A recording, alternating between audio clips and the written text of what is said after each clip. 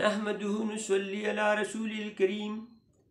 اما بعد فاعوذ بالله من الشیطان الرجیم بسم الله الرحمن الرحیم زنن تاسو ته په مشر او کشر باندې یو نظم اورول غواړم چې په خوا زمانه کې به د مشر کشر سه تعلق او اوسنۍ زمانه کې د مشر کشر سه تعلق ته نن سبا خلک ډیر زیات ایجوکیټډ دي خو هغه اخلاق پکې نشته کم چې به په بخوانی کشر کې وو نو راځي دا نظم زه تاسو ته اورول غواړم مخکې زمانه کې به د مشر او قدر سرتا چې بناستو د خپو تا شبزر کله کشرانو کله کله اخویونه کاربا اکولو ډیر کم با او خوبونه کشر به بل شي وا غلا مشر به ولاړ کله زمانه وا او ډیر کله او دکار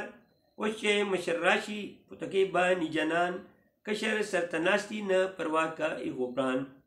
کله به استادو یو چوکبا ورسره پلس کې منیټر سره یو ښکلی شنم سا خلک به دباو منیټر نه یریدل ښکلی خاموشي وه سو په کلاس نه ګډېدل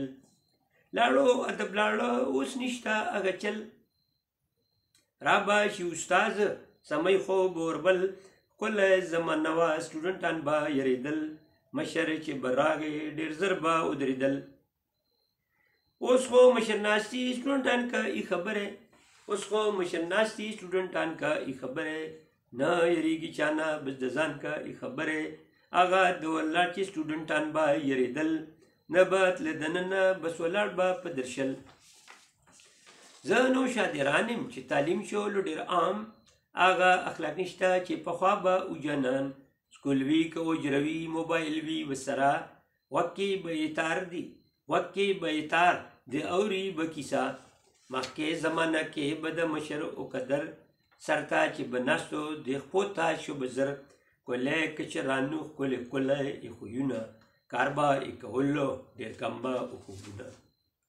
مخکې زمانه کې به د مشر او قدر سرتا چې به ناستو د خپوتا شو بزر کله کشرانو کله کله اخویونه کاربا اکولو د کمبا او کوبونه نو دا نظم چې دا ما مشر او کشر بارکی تاسو ته وی خو نن سبا زه تاسو ته دا یو دغه در کوم چې د اخلاقیات هم ډیولپ کول په خاندان کې پکار دي په قوم کې پکار دي یونیورسټو کې پکار دي چې کله دا اخلاقیات منګ ډیولپ کو نو دا غي سره ډیولپمنٹ چې کم دی نو دا ډیر زیات راځي د کې جګړو خطرې کمی شي او هر سړی د بل حق نم خبر شي چې را د د د حق ورکول پکار دي نو پس مکو او په دې شیزونو باندې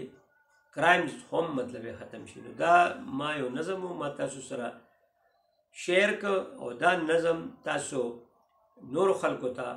خو مطلب دا دی شعر کې چې هغیم دا ووري او د ملک ته یو پیدا شي او په سټوډنټ باندې لږ سر راشي او دی اخلاقیاتو کې لږ فرق راولي چې د مخکې نه د دوی اخلاق ښه شي نو د دې سره به د دنیا مخکې کیږي او د پاکستان به هم مخکې کیږي زما نوم دی ډاکټر نوشاد زه اګریکلچر یونیورسټۍ کې اسسټنټ پروفیسر یم او زه زیاتر مطلب دا دی ریسرچ سیټ باندې کار کوم او دا هم زما یو مشغله ده چې زه پویمز هم لیکم او د موقع مطابق چې کله زما ذهن له آیډیا راشي نو دا زه لیکم او دا غواړم چې دا ملک زه په څه طریقه باندې ډیولپ کړم والسلام